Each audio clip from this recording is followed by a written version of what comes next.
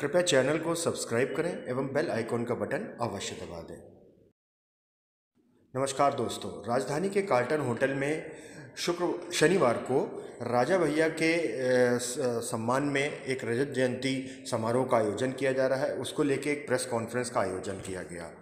विनोद कुमार सरोज, विधायक को इस रजत जयंती समारोह का अध्यक्ष बनाया गया है, जिनकी अध्यक्षता में 30 नवंबर को राजधानी लखनऊ में राजा भैया का रजत जयंती सम्मान समारोह में सम्मान किया जाएगा।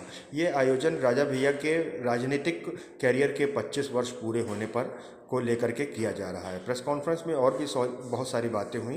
खास तौर से सरोज जी ने जो राजा भैया को बंगला अखिलेश यादव का अलॉट कराने को के लेकर लेकर के सोशल मीडिया पे बात चल रही है, उसका खंडन किया और उन्होंने बताया कि राजा भैया के पास खुद बहुत सारी जगह है जिसमें वो अपना ऑफ़िस खोलेंगे।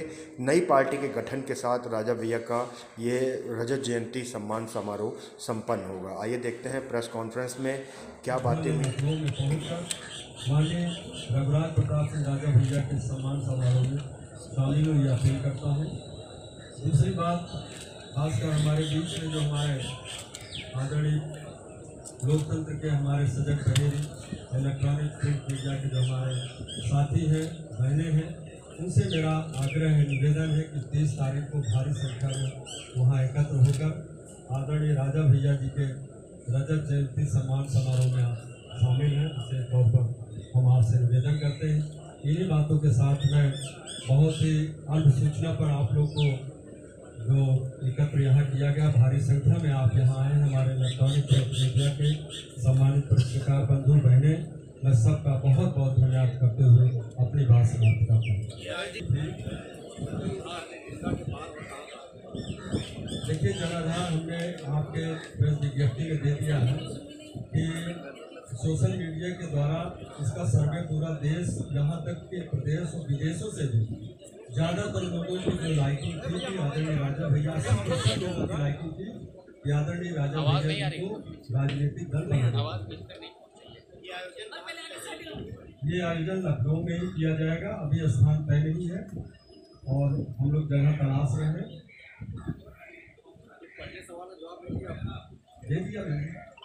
मैंने आपसे कहा ना कि निर्दलीय तो थे, लेकिन निर्दलीय और राजनीतिक दल बनाने में बड़ा फ़ायदा है। आपने देखा होगा, बड़ा अंतर भी है और उसका फ़ायदा भी है। तो सोशल में ज़्यादातर लोगों की उत्सुकता थी कि राजनीतिक दल बनाया आदरणीय राजा भैया। क्यों? जन भावनाओं का आदर करते हुए आदरणीय आदरणीय राजा भैया कोई ऐसी सहयोग नहीं है, हम आपको बता दें। नहीं नहीं, वो आदरणीय राजा भैया जी के पास खुद के अपने संपत्ति है, हम खोल लेंगे और आपको बहुत ही जल्दी इसकी सूचना हम दे देंगे। बात जो सोशल मीडिया पर चल रहा है, वो है राजा भैया जी का आप लोग को मालूम है कि बहुत बड़ी ज़मीन और उनका मकान यहाँ, सहारा सामने, मार्केट के सामने जो कॉम्प्लेक्स है। हम कोशिश करेंगे कि यहाँ या कहीं ना कहीं हम खोलेंगे, वो आपको पता लगे। कोई सहयोग नहीं। आदरणीय राजा भैया के सहयोगी समर्थक इसके लिए सक्षम है।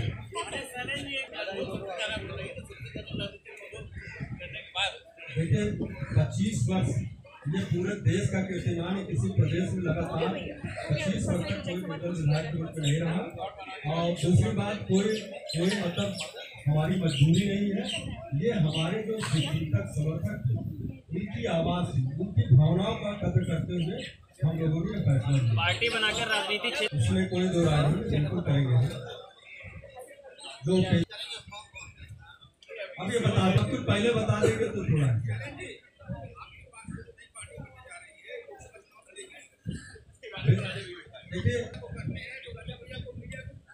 आएँगे आएँगे बिल्कुल आएँगे। बहुत जल्दी आएँगे आपके बीच बहुत ही जल्दी आएँगे क्योंकि